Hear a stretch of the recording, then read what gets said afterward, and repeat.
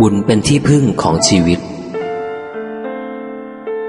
สิ่งที่ได้รู้ได้เข้าใจตามมาก็คือบุญเป็นที่พึ่งของชีวิต สามารถแก้ปัญหาได้ทุกอย่าง แต่ปริมาณบุญต้องเหมาะกับสถานภาพจึงจะแก้ได้ เมื่อก่อนอาจารย์แดง อาจารย์พิระวันถามว่าทำไมพี่นิดเที่ยวบอกให้คนทำบุญมากๆ ก็อธิบายไปว่า การใช้หนี้กรรมก็ต้องใช้ให้ได้ปริมาณตามหนี้หรือมากกว่า เขาถึงจะเอโหสิกรรมให้ และทำสำเร็จทุกครั้งนะ ใครมีปัญหามาปรึกษา เช่น ครอบครัวแตก ลูกหนีโรงเรียน เรียนจะไม่จบ เจ็บไข้ได้ป่วยและอื่นๆ ก็จะแนะนำไปเช่นนี้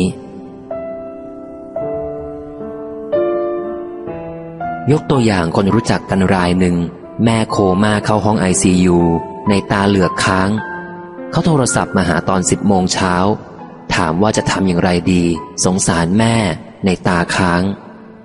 ข้าพเจ้าก็แนะนำไปว่า เธอขายที่ได้ตั้งหลายล้าน เขียนเช็คสักแสนหนึ่งไปถวายหลวงตาพรุ่งเนี้ยตั้งแต่เช้าที่สวนแสงธรรม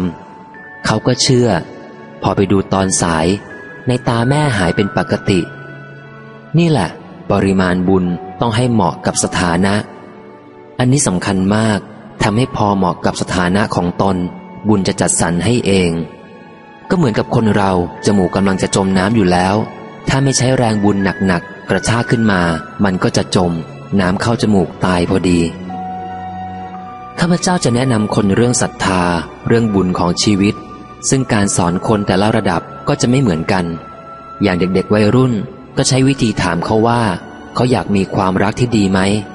ถ้าอยากมีความรักที่ราบรื่น ให้เขามาสร้างบุญสร้างทานด้วยกันบ่อยๆ ต้องสอนตามสภาพเขา ข้าพเจ้าไม่ได้แนะนำให้ทุกคนต้องมาอยู่วัดถือศีลแปดไม่แต่งงานแต่งการ สอนอย่างนั้นไม่ได้ เพราะสภาพของคนเราไม่เหมือนกัน หลวงตาท่านบอกว่า การสอนคนตามทฤษฎีแบบปริยัติอย่างเดียว ดึงคนมาเข้าวัดทำบุญไม่ได้ ต้องเล่าจากเรื่องจริง จากชีวิตจริง ๆ ให้ฟัง